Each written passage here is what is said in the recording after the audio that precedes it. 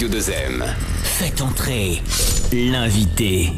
avec Fathi El Aouni.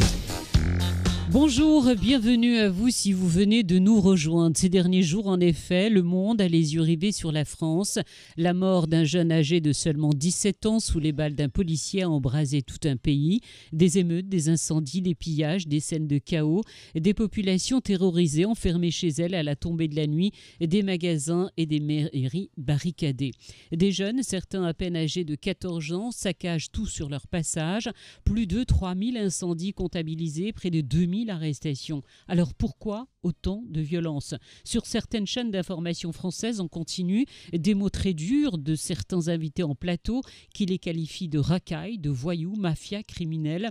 De moins que rien, et il est vrai que les images véhiculées sur les réseaux sociaux sont des plus choquantes. Certes, il est donc important de comprendre le comment et le pourquoi. L'opprobre est jeté sur les Arabes et les Noirs. Dans la ville de Lyon, on a même vu des manifestants scander bleu, blanc, rouge, la France aux Français. Juste après la mort du jeune Naël, l'ONU a tiré la sonnette d'alarme. La porte-parole du Haut-Commissariat des Nations Unies aux droits de l'homme a demandé à la France de se pencher sérieusement sur les problèmes de racisme et de discrimination raciale au sein de ses forces de l'ordre. Est-ce alors cette discrimination qui a conduit au pire? Est-elle au cœur de tous les maux. Comment expliquer cette haine et cette rage de ces jeunes? Quelle est la situation dans les quartiers défavorisés? À quoi sont confrontés ces jeunes? Leur situation est-elle vraiment prise en compte? Les parents sont-ils démissionnaires? Avec moi aujourd'hui, deux hommes de terrain, deux hommes au cœur de la problématique des quartiers. Lehsen Baba, il est élu conseiller municipal délégué à l'emploi dans le département de l'Eure, à Val-de-Reuil, et Mustapha Benazouz, chef de service à l'association IFEP, Insertion, Formation, Éducation et Prévention à Mantes-la-Jolie, deux régions des banlieues situées au nord-est de Paris. Merci et bonjour à tous les deux. Bonjour. Bonjour. Madame Alermi, bonjour à votre invité. Merci d'avoir accepté notre invitation. Vous êtes euh, tous les deux franco-marocains. Mustapha, je vais commencer avec vous. Ces jeunes de banlieue, vous les connaissez bien, puisqu'avec vos équipes au sein de l'IFEP, vous intervenez au quotidien auprès de jeunes en difficulté socio-professionnelle. Vous intervenez aussi auprès de femmes victimes de violences intrafamiliales, mais aussi auprès de mineurs non accompagnés. Mustapha, s'il vous plaît, comment vous expliquez la situation actuelle? Alors, pour commencer, ben, écoutez, je, vous remercie pour votre invitation. Pour résumer un peu les choses, moi je, travaille avec une association qui a comme cœur du métier justement l'accompa- l'accompagnement du public fragilisé, notamment les jeunes des banlieues, les jeunes des quartiers sur le département des Yvelines. Notre association œuvre au quotidien pour soutenir et accompagner ces jeunes qui malheureusement sont assez stigmatisés euh, par la, politique de manière générale, la politique menée par, euh, la France depuis maintenant une quarantaine d'années. hein. Ce qui se passe aujourd'hui, malheureusement, moi mes pensées vont en direction de la maman de Naël et sa famille. C'est un drame qui s'est déroulé sur le sol français, hein, un gamin qui s'est fait tuer par l'arme d'un agent public qui était censé protéger les citoyens. Voilà. Heureusement que ça ne représente pas une majorité de, la police nationale, hein, puisque c'est cette institution, il y a quand même des, des agents qui sont voués à la, protection et à la mise en place d'un ordre républicain.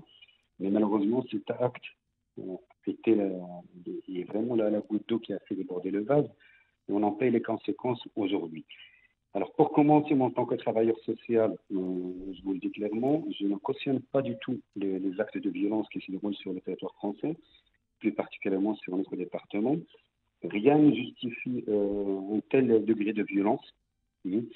Et, ça nous met vraiment en difficulté au jour d'aujourd'hui parce que euh, voilà, ça nous amène à multiplier des efforts, de l'énergie, à rester en veille euh, 24 heures sur 24 auprès de, des familles, des jeunes concernés. Et on continue à mener nos missions avec, euh, avec dévouement et on espère vraiment à, ce qu'on passe à autre chose. Et pour pouvoir passer à autre chose, nous, appelons les politiques euh, d'une manière générale, en tout cas les pouvoirs publics, à se pencher sérieusement et honnêtement sur cette problématique d'intégration qui est toujours mise en avant et qui n'est pas vraiment appliquée sur le terrain. Et nous, on l'a vu au quotidien auprès de, ce public qui est aujourd'hui stigmatisé, incriminé, qui va au-delà de, toute, imagination. Maintenant, on incrimine même les parents d'une manière assez flagrante. Il y a une, réelle récupération politique de ce drame qui dépasse toutes les limites. Lahsen Baba, est-ce que vous, vous comprenez ce qui se passe en ce moment alors oui, je, comprends, bien sûr, euh, comme Moustapha vient de le dire, je, condamne avec la plus grande fermeté euh, les violences qui, se produisent actuellement au pays. Il faut absolument que ça s'arrête. Alors par contre, j'essaie de comprendre un petit peu ce qui se passe. je pense que c'est un problème de fond et comme l'a relaté Mustapha, c'est un problème qui dure depuis plus de 40 ans. Moi, j'ai la chance d'être un élu, un élu qui est proche de ses concitoyens. Je suis donc dans une ville qui est de 15 000 habitants. C'est une ville euh, où il y a plus de 70 communautés. Vous imaginez 70 communautés sur une ville de 15 000 habitants. C'est une ville test laboratoire. C'est-à-dire que c'est une ville d'expérimentation. Et, croyez-moi, cette ville, elle a des atouts. Premier atout, je vais en citer deux. Premier, c'est le vivre ensemble. D'accord? La communauté marocaine est la plus importante, sachez-le, dans cette ville. Et malgré les différentes crises qu'on a pu rencontrer, qu'elles soient économiques, qu'elles soient sanitaires, qu'elles soient sociales, qu'elles soient financières, qu'elles soient inflationnistes, le vivre ensemble a toujours euh, pris le dessus sur le problème. Le deuxième atout, et ça j'insiste dessus, c'est aussi une volonté politique. Nous avons la chance d'avoir un maire, Marc-Antoine Jamais, que je voudrais saluer l'engagement et le courage.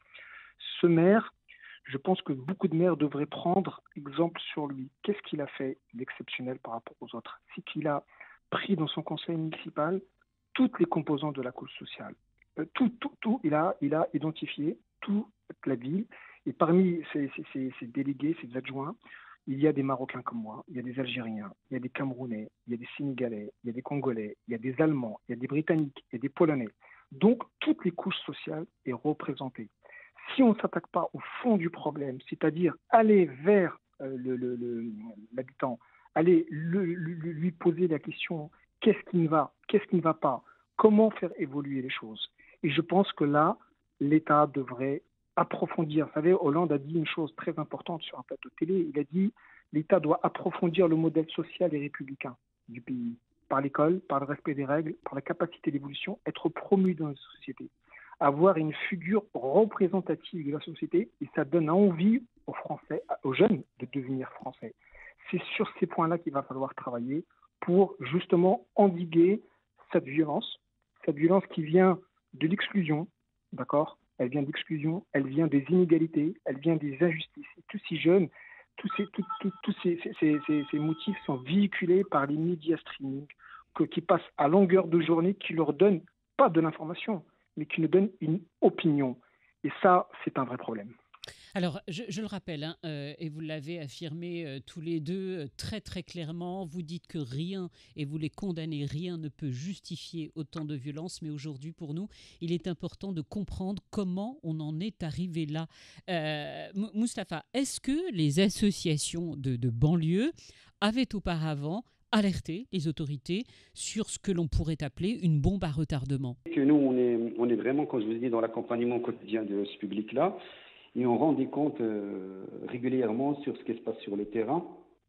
Et en effet, on a, on a alerté maintenant depuis des années, depuis, qu'on a commencé à travailler dans le social. Moi, ça fait maintenant 22 ans que je suis sur le terrain auprès de ces populations, notamment le, les populations fragilisées.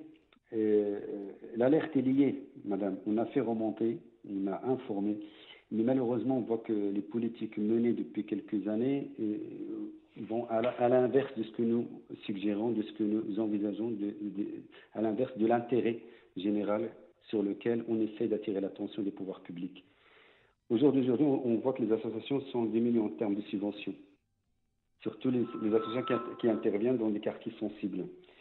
Nous, localement, heureusement qu'on est, qu'on est accompagné par le département des Yvelines, qui nous, qui, soutiennent à 95% du financement dont on bénéficie, parce qu'ils sont conscients justement de la gravité de la, chose. Une population qui est stigmatisée, au niveau de laquelle l'ascenseur social est en arrêt total. Moi, je vous dis, on a des jeunes qui n'ont pas accès aux services du droit commun comme ils doivent l'être au niveau de la nationale. Là, on voit que des, jeunes gamins qui sont stigmatisés, qu'on renvoie toujours à leurs origines, alors que maintenant c'est la quatrième génération, c'est des gamins qui sont nés ici en France, qui ont fait leurs études ici en France, qui sont censés, qui sont censés accéder euh, au lieu de loisirs, au lieu de, de à tous les services du droit commun qui va leur permettre de se construire en tant que citoyen lambda. Vous voulez dire qu'il n'y a aucune égalité des chances? C'est absolument vrai, c'est clair. je vous dis, l'ascenseur social, on arrive aujourd'hui, on n'arrive plus à, en fait, à motiver les jeunes, à leur donner des perspectives. Parce qu'on sait que voilà, euh, le, discours politique est, est, entièrement à l'ouest de ce qui se passe sur le terrain. La, classe politique aujourd'hui, est déconnectée du terrain. je vous renvoie sur les propos de, certains ministres ces derniers jours qui, prouvent que voilà, ils sont dans leur monde et puis on est là sur le, dans le monde réel. Voilà. Et on est diminué si on n'a pas le, soutien des pouvoirs publics pour pouvoir accompagner ce public-là.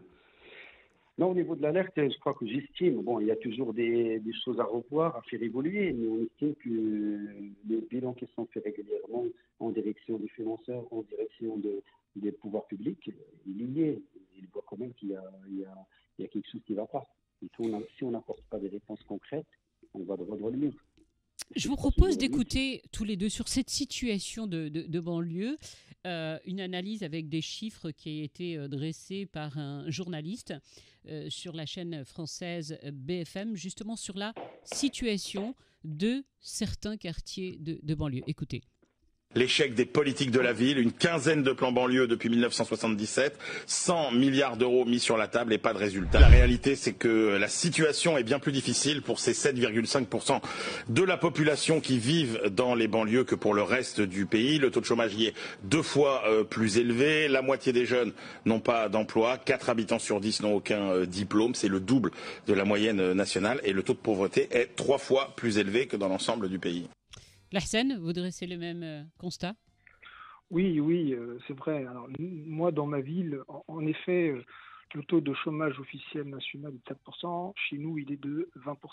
Vous voyez, c'est vraiment très important. On a C'est énorme, c'est énorme, 20%. C'est énorme, c'est énorme. D'autant plus que depuis trois ans, depuis notre mandat, nous avons activement travaillé sur le sujet. Il était initialement de 25%, madame. Donc aujourd'hui, nous avons fait un gros effort. Nous avons réussi à réduire euh, avec beaucoup, beaucoup d'efforts, nous avons réussi à, baisser ce, taux de chômage, mais ce taux de chômage passe par, la formation. 70 à 80 de, la population est un frabac, donc sous-formé. Donc il faut vraiment axer aussi euh, la formation, l'éducation, euh, ce sont vraiment les axes sur lesquels il faut travailler pour justement venir contredire les chiffres que, vient, de, vient de citer enfin, ce, journaliste. Eh, en même temps, j'ai envie de vous dire, il y a quelques années, euh, même si effectivement on avait déjà les, prémices euh, de euh, le manque d'emploi au niveau de l'éducation, le manque d'accès, mais pourtant on avait l'impression que ça fonctionnait. On parle par exemple de plus en plus aujourd'hui de cette fameuse police de proximité. Elle avait fait quand même un, travail remarquable, Hassan. Absolument, je, vous le confirme. Aujourd'hui, j'ai 45 ans je peux vous dire que le début de mon ascension professionnelle a commencé par la police de proximité euh, à Val d'Oreuil, justement. Et, et j'oublierai jamais euh, Jacques qui était le chef de la police municipale, qui m'a aidé, qui m'a conseillé, qui m'a orienté. Et cette proximité a fait de moi et de plusieurs jeunes, justement, bah, plutôt des, gens qui ont plutôt bien avancé dans la vie, et je le remercie. Malheureusement, cette police de proximité a été arrêtée. Je ne sais pour quelle raison. C'est une erreur. Je la regrette. Peut-on parler, euh, Mustapha, d'un dialogue de, sourds actuellement entre les, autorités et ces jeunes de banlieue? Je vais aller un petit peu plus loin euh, avec une deuxième question qui va suivre sur les parents, mais, mais j'y reviens dans un instant. Est-ce qu'on peut parler aujourd'hui d'un dialogue de sourds? Est-ce qu'il y a un dialogue ou il n'y a rien? Euh, L'un n'entend pas l'autre euh, clairement, clairement, moi je reprends l'expérience de la police de proximité, si vous permettez, pour rebondir sur la, suite de la question. C'est une expérience aussi que j'ai vécue sur Mantes-la-Jolie et c'était des, moments formidables, dans la mesure où vraiment cette notion de proximité a existé entre les agents de la police et les, gamins de, la cité. On les voyait se partager des moments, des discussions, des parties de foot. mais rien n'a enlevé leur, en leur autorité en tant que, en tant que police. Les forces de l'ordre. Les forces de l'ordre. Et du coup, c'était une très belle expérience qui malheureusement n'a pas duré longtemps parce qu'elle arrivait d'un certain M. Sarkozy. C'est à ce moment-là que cette police de proximité a été, supprimée, malheureusement. Et du coup, on en voit les conséquences. En fait, c'est des, décisions politiques qui, sont arrivées en crescendo parce que justement, il y a cette, euh, politique de, comme vous dites, de sourds hein, qui veulent veulent pas entendre ce qui se passe réellement sur le terrain, qui veulent pas observer de très près les événements qui arrivent dans les cités pour pouvoir apporter des réponses adéquates. Du coup, ils ont laissé faire pour servir les agendas euh, électoraux. Euh, voilà, on le sait très bien. Hein. vous voyez, la discrimination via le logement, via l'accès à l'éducation, via l'accès aux services euh, de loisirs, de, partage. Moi, j'ai vous avez des, des, jeunes que j'accompagnais justement, c'est des expériences qui sont très parlantes. Des gamins de 17 ans, 19 ans que j'accompagnais sur Paris pour assister à un salon d'éducation, ils ont profité pour leur faire visiter Paris j'en avais qui sont retrouvés au, bas de la Tour Eiffel, et qui étaient devenus heureux. C'était la première fois qu'ils voyaient la Tour Eiffel. Pourtant, dans l'école républicaine, on parle des, activités de loisirs, des, sorties, de l'éducation civique, mais on dirait que ça n'existe pas dans les cités, et vraiment, ça n'existe pas. À travers les appellations, oui, mais sur le terrain, moi j'ai visité des, écoles euh, dans les quartiers, mais ça n'a rien à voir avec les écoles des centres-villes. Alors, il y a une question, Moustapha et Larsen, je vous la pose. Oui, allez-y. allez Sur ce que dit Moustapha, en, effet, en fait, on est passé de, la proximité à, une distance et aujourd'hui c'est une déconnexion et un déni.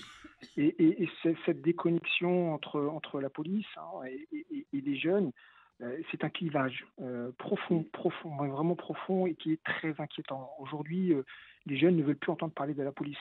Euh, des très jeunes ne veulent plus entendre parler de la police.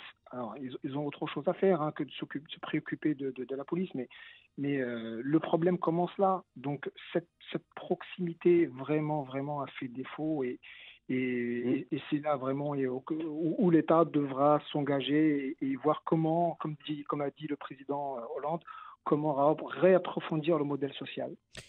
Ces derniers jours, euh, je vous pose la question à tous les deux, ces derniers jours, ce sont les parents qui sont pointés du doigt parce qu'il est vrai, euh, et indéniablement, que c'est l'incompréhension la plus totale de voir des gamins de 13, 14 ans dans les rues à 3 heures du matin, et beaucoup se disent euh, comment les parents ne les retiennent pas à la maison, comment les, comment les parents laissent leurs gosses au milieu de, de, la nuit partir, euh, partir en live? Euh, cette responsabilité sur, jetée sur les parents, est-ce que vous la comprenez, Hassan bah, Écoutez, je la comprends. Est-elle légitime? Bah, en, en, fait, je pense que c'est un peu trop facile de porter la responsabilité sur les parents. Euh, si on regarde en détail, et moi j'étais sur le terrain, donc je sais de quoi je parle, la plupart des jeunes euh, qui, sont dans cette situation, euh, qui, qui, qui sèment le trouble, ce sont des jeunes qui sont de 14, 15, 16 ans. Donc le foyer familial est souvent de parents divorcés souvent de maman, euh, enfin de qui élève ses deux, trois, quatre enfants. Cette maman euh, qui, euh, si elle a la chance, a un emploi. Et si elle a un emploi, c'est un emploi souvent précaire. Elle se lève tôt le matin pour faire des travaux de ménage, par exemple, du conditionnement, de la manutention. Donc c'est fatigant, physiquement c'est pénible. Ou travaille tard le soir. Ou même parfois, dans certaines usines, par exemple, elle travaille la nuit comment voulez-vous euh, que euh, cette, femme, pleine de courage, qu'elle soit, comment voulez-vous qu'elle s'implique totalement, de manière optimale pour l'éducation de ses enfants? C'est très compliqué. Vraiment, c'est très compliqué. Et, beaucoup de ces jeunes, beaucoup de ces jeunes sont dans cette situation-là. Alors oui, les parents doivent, surtout dans des contextes particuliers comme celui-ci, doivent redoubler d'efforts, doivent veiller à ce que leurs enfants soient à la maison. Mais euh, je pense que c'est très facile de jeter la responsabilité uniquement sur les, sur les parents et sur les mamans euh, monoparentales. Non, c'est compliqué. Je pense que l'État, là aussi, doit regarder en face le problème et s'y attaquer de plus près. Mustapha, vous êtes du même avis? Euh, alors, je, rejoins complètement la scène de ces propos. D'ailleurs, d'autant plus que la, majorité des familles que nous accueillons, c'est, nous accompagnons, c'est des familles monoparentales comme disait la scène, souvent c'est des mamans qui sont dépassées par la réalité de, la vie, hein, sur le plan économique, sur le plan des, contraintes des horaires de travail. S'ils en ont un, et, c'est vrai qu'encore une fois, on voit que nos représentants politiques, ils cherchent la facilité pour, pour justifier justement l'incompétence qu'ils ont dû, qu'ils, euh, voilà, qu'ils ont en fait, qu'ils n'arrivent pas à suivre. du coup, il fallait trouver une excuse injustifiée en mettant toute la responsabilité sur les parents. Pour nous, euh, depuis, des années, il y a trois parties qui sont responsables dans ce qui se passe aujourd'hui. Les institutions, notamment l'État, son implication, les familles et le jeune lui-même. Et si ces deux-là n'arrivent pas à se remettre en question, à se retrouver autour de la table justement pour essayer de trouver des solutions, on n'y arrivera pas. Là, c'est très très facile de dire euh, les parents sont responsables. Oui, en effet, mais on a fait quoi pour les accompagner, ces parents? En tout cas, si, maman seule avec des enfants, avec trois, quatre gamins, comment on a pu les, soutenir? En attendant, les enfants, ils passent, ils passent bien euh, quatre jours et demi par semaine dans des écoles républicaines, où il y a ce qu'on appelle l'éducation civique. On leur apprend quoi à l'école?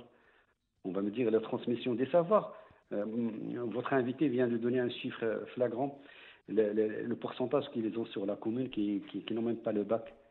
Du coup, ça pose question au niveau de les institutions de l'État, qui doivent se remettre en question, qui doivent vraiment faire des propositions honnêtes, encore une fois, et concrètes pour pouvoir régler ce problème.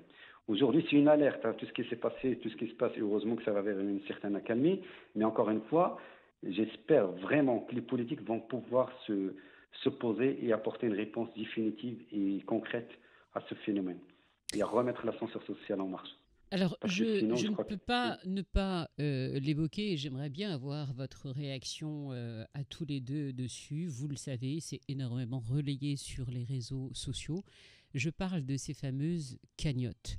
Une ah cagnotte, euh, ben, soyons clairs, hein, par une personnalité de l'extrême droite mhm. pour soutenir le policier euh, en question, ce que Mediapart a, a qualifié d'ailleurs la cagnotte de, de, la, honte. Euh, une autre qui est pour le soutien euh, de la jeune maman, du jeune Naël. Je ne sais même pas où on en est de la cagnotte. La dernière fois que j'ai regardé, c'était hier soir. On était à plus à près de, de 900 000 euros, 860 000. Une autre qui n'a absolument rien à voir. Qu'est-ce que ça démontre selon vous? Alors, moi, si je, peux me permettre, alors, la, police, je, tiens à apporter mon soutien euh, le plus indéfectible à la police qui fait un, super travail. Par contre, ce policier devra répondre de ses actes. De toute façon, il est mis en examen et on ne comprend pas, je ne comprends pas qu'il y ait une cagnotte euh, qui avoisine le million d'euros quand même. Ça veut dire qu'un policier qui est mis en cause, mis en examen pour homicide volontaire, a aujourd'hui une cagnotte qui avoisine le million. C'est tota-, totalement euh, intolérable, c'est totalement euh, affligeant et consternant.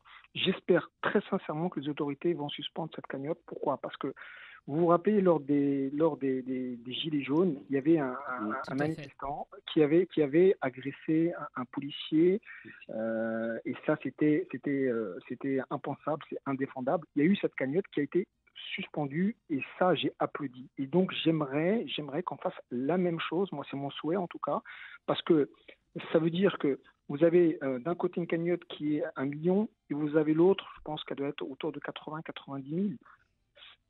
Allô? Oui, oui, c'est ça, exactement. Qu'est-ce que, qu'est-ce que, qu'est-ce que ça traduit? Qu'est-ce que ça traduit? Mais qu'est-ce que ça signifie? Moi, ça, moi, je vais vous dire, ça, ça m'enrage.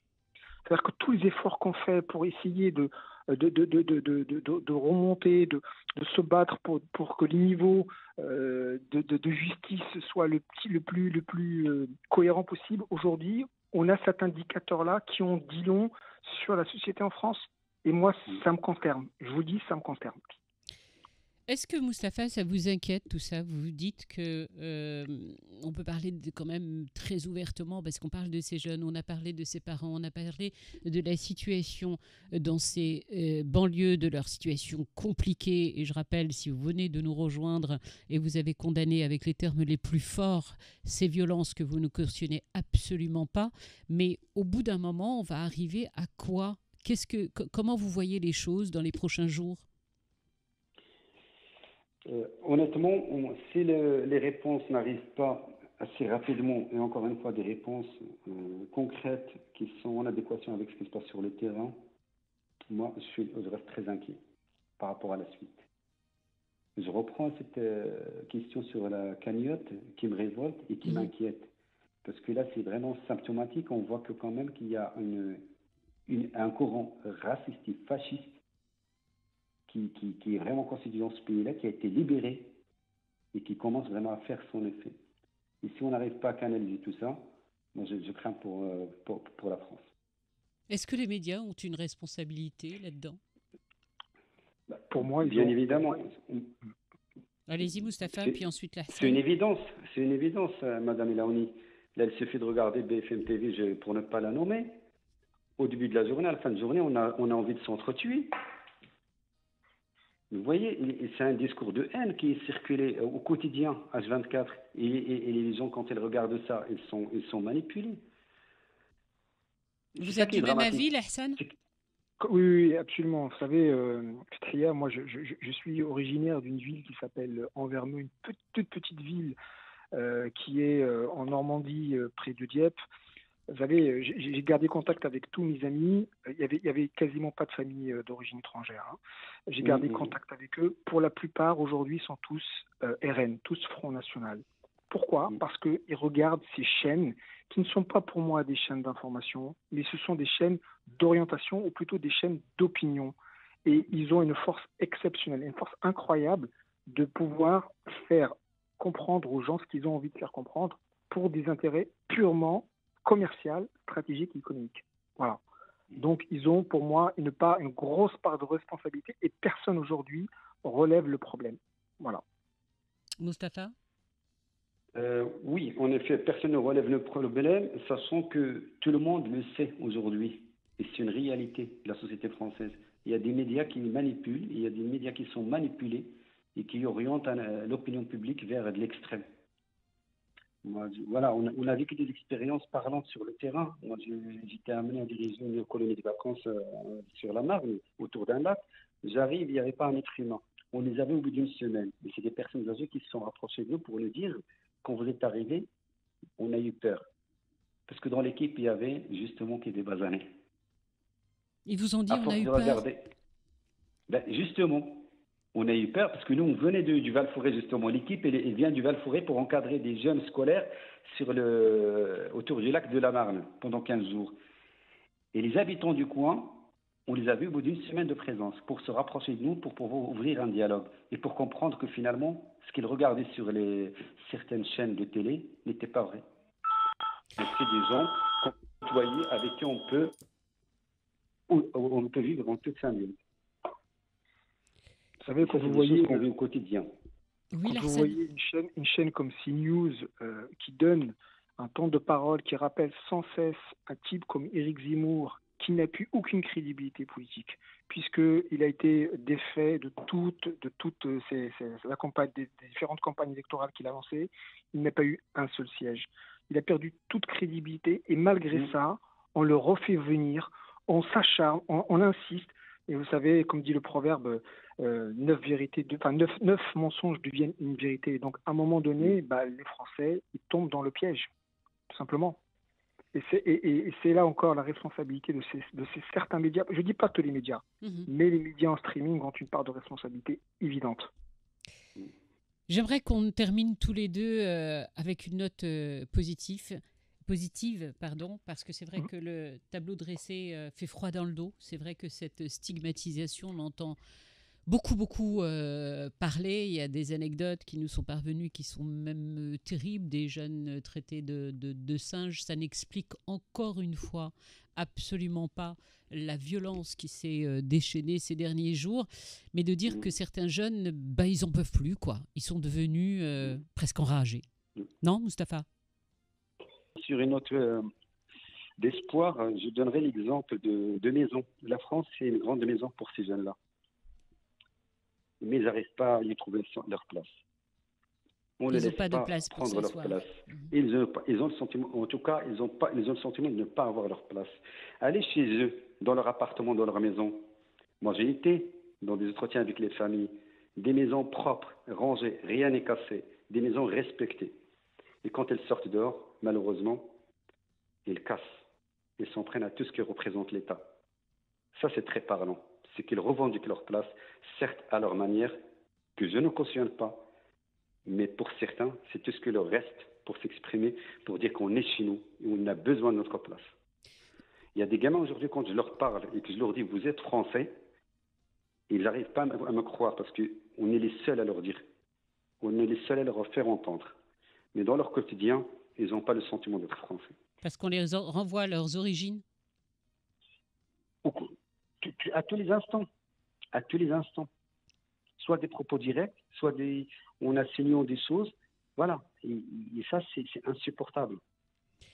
Est-ce que vous pensez qu'il est encore possible, euh, ces jeunes, de les raisonner? Et si vous les rencontrez tous les deux, qu'est-ce qu'ils vous disent? Clairement bah, ils nous disent qu'ils sont, qu'ils sont pour une infime minorité quand même. Hein. attention, parce que oui, il ne faut pas qu'on fasse une généralité non plus. Hein. Non, non, non. C'est vraiment une infime euh, minorité. Hein. Ça, j'insiste là-dessus parce que beaucoup, beaucoup de gens de notre communauté ont plutôt très bien réussi dans leur parcours personnel, professionnel, avec des emplois d'autres qualités. Moi, je suis dans une délégation emploi, donc je le vois tous les jours. Ce sont des gens qui sont compétents euh, et, et qui œuvrent euh, pour la France, pour le Maroc, et, ils aiment ces, deux pays, et ça c'est très important de le souligner, parce que on, toujours on désigne les gens qui ne vont pas bien, mais beaucoup, beaucoup, beaucoup, 99% de ces gens font le travail, euh, euh, ont une considération des valeurs de la République, aiment leur pays, aiment le Maroc, et donc ça c'est très important. Mais il y a cette infime minorité, oui, c'est difficile, madame. Pourquoi c'est difficile? Parce qu'ils sont aussi déconnectés ils ont perdu toute valeur. Ils ont perdu euh, le sens des valeurs des choses. Avec, avec le temps, malheureusement, ils les ont perdus. Et en plus, vous savez, on vit dans un air euh, des réseaux sociaux, avec les influenceurs, etc., qui vont du rêve. Plus que jamais, plus que jamais, on est en train de les perdre. On est en train de les perdre parce qu'il n'y a pas la réponse. Il n'y a pas de réponse. absolument, il n'y a, absolument, il n'y a pas de réponse. Et, en fait, ils surfent sur du virtuel. Et donc, ils essayent. Aujourd'hui, vous le voyez bien sur les réseaux sociaux, tout le monde se met à faire du TikTok, tout le monde se met à faire de l'Instagram, tout, tout, le monde veut des followers, tout le monde veut, veut de l'argent facile. Mais l'argent facile, c'est très compliqué faut travailler pour gagner sa vie. Alors, je le disais, j'aimerais terminer sur une note positive, euh, parce que malgré tout ça, euh, ni l'un ni l'autre, euh, vous ne baissez les bras, bien au contraire, vous continuez à mener des actions sur le terrain avec cette jeunesse dépourvue. Mustapha, je crois qu'un beau projet avec des jeunes est en cours de, de préparation pour cet été. En effet, en effet. Vous pouvez nous en parler en deux mots? Alors, à notre échelle, comme vous venez de le souligner, on met en place des, des outils pour permettre à ces jeunes-là de, lever les freins qui leur sont posés dans leur environnement actuel, notamment de les faire partir ailleurs pour voir une autre culture, ce qui se passe, pour côtoyer d'autres personnes, pour pouvoir s'exprimer autrement et faire preuve de, de leurs compétences et de leur capacité à s'intégrer dans un groupe et à le respecter. Euh, c'est pour ça qu'on avec les FEP et grâce au soutien du département des Yvelines, avec son président Pierre Bidier, qui finance euh, voilà, qui finance ce type d'initiative et qui, qui, vont vraiment dans le bon sens parce que ça permet, comme je vous ai dit aux jeunes, de, de se retrouver lui-même. Vous, vous, les allez, vous allez les emmener où? Alors, euh, cet été, il y a un départ au Sénégal. Là, on est sur un séjour de rupture Sénégal régulièrement, tous les deux mois. Et moi, je, suis en train de travailler justement pour pouvoir ouvrir une antenne au Maroc très prochainement. Parce que c'est ce type de projet qui vraiment qui a un impact assez important sur, euh, sur nos jeunes, parce que ça les renvoie aussi à leurs sources, à leurs origines. Et c'est grâce à ça qu'elles arrivent à trouver une certaine paix avec leur, leur existence ici en France. Avec eux-mêmes. Euh, euh vous aussi, de beaux euh, projets et une coopération en particulier dont j'aimerais beaucoup que vous nous parliez, notamment avec l'UM6P. Absolument. Nous avons la chance avec notre CFA, nous avons un CFA à Val-de-Reuil euh, de, plus de, plus de 1200 apprentis. C'est un des plus gros euh, CFA de la région et même de France. Je crois que c'est le troisième plus gros de France. Nous allons mener en effet une coopération, collaboration avec l'UM6P, avec qui nous allons faire un partenariat d'échange sur les métiers de l'excellence, de l'hôtellerie, de la restauration et de l'intendance. Nous avons fait un certain nombre de de travail, nous avons bien avancé sur le sujet. Euh, tout le monde est OK aujourd'hui pour avancer, envoyer nos jeunes Valois, c'est-à-dire des gens de Val-de-Reuil, les envoyer au Maroc, à Ben découvrir le campus mm. high-tech de, de, cette prestigieuse université et ça, ça sera très enfin, ça sera en, au quatrième trimestre de, cette année. Et, bien sûr, des jeunes Marocains, des, des, Marocains qui, travaillent, qui, qui, sont apprentis à, l'UM6P, qui vont venir, qui seront accueillis chez nous au sein de la ville, dans ce CFA, découvrir les métiers de, de, et tout ça va, va, être conjugué avec euh, le talent. Euh, l'excellence et, de, justement découvrir autre chose, autre chose pardon, et pourquoi pas demain euh, faire un projet de, de coopération approfondie, voire un jumelage. Eh ben, Inch'Allah, on vous souhaite le, meilleur et auquel on s'associera avec euh, grand plaisir, euh, en tant que, que, média. Lahsan Baba, je rappelle que vous êtes élu conseiller municipal délégué à l'emploi dans le département de l'Eure à Val de Reuil et Mustapha Benazouz, chef de service à l'association IFEP qui fait un travail formidable, insertion, formation, éducation et prévention à Mantes-la-Jolie. Je vous remercie infiniment tous les deux d'avoir été avec nous et puis nous avoir donné aussi euh, ces éléments de réponse pour essayer de comprendre, même si on n'a pas toutes les réponses. C'était important de vous avoir avec nous tous les deux. Merci. Merci, madame. Merci à vous.